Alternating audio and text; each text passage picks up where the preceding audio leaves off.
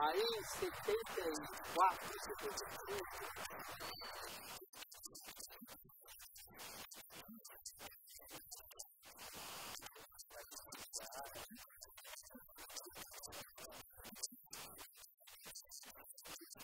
Oi? Eles voltando. O projeto já existe não primeira vez.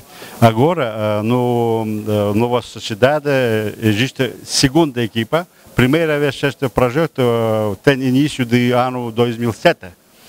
E já no 2012 uh, começou o segundo projeto e o segundo equipe do Cazaquistão está aqui. Sim, se não estará contente, não, não seria, por exemplo, mandar segunda equipe.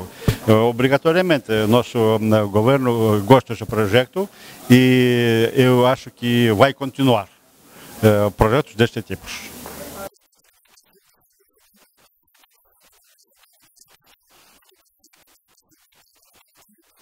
O projeto de intercâmbio é o maior da América Latina.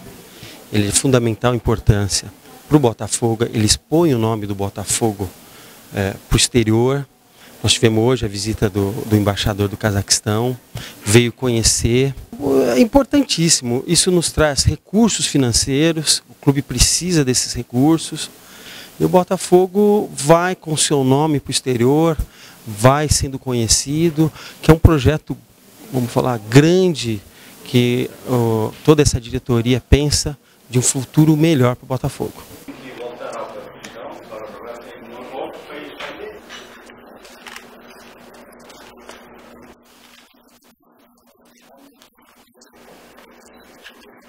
Estou muito feliz com a visita do embaixador, de conhecer de perto esse projeto que tem dado um resultado muito positivo.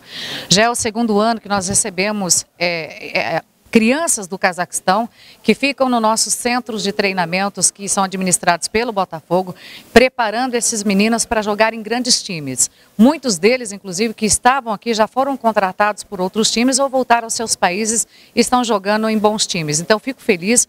É um projeto, uma parceria de Ribeirão Preto com o Cazaquistão que está sendo feita pelo Botafogo, preparando esses profissionais para o futuro.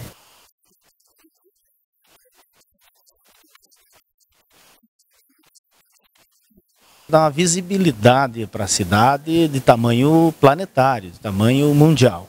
Agora, quando começa a se olhar mais amplamente, tem uma máxima econômica que diz o seguinte: onde chega o nosso futebol, chegam os nossos produtos, chegam os nossos negócios. Então, abre avenidas de possibilidades de negociações.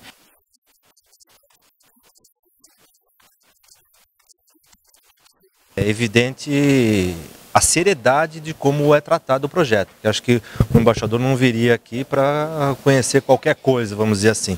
Então acho que isso não deixa de ser um incentivo a mais dizer, você ter a presença do embaixador para que conheça o projeto, veja como ele está sendo aplicado. E acho que isso é muito importante, porque acho que o esporte no mundo inteiro, ele tem que ser feito com, com um sistema de trocas, né? Eu acho que você trocar experiência em tudo, eu acho que é muito válido. E no esporte principalmente.